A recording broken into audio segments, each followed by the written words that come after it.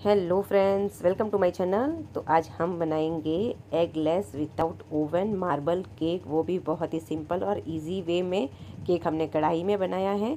तो इसे बनाना बहुत ही आसान है। हमने इसका पूरा वीडियो हमारे यूट्यूब चैनल रतन बाईसा की रसोई में अपलोड कर रखा है।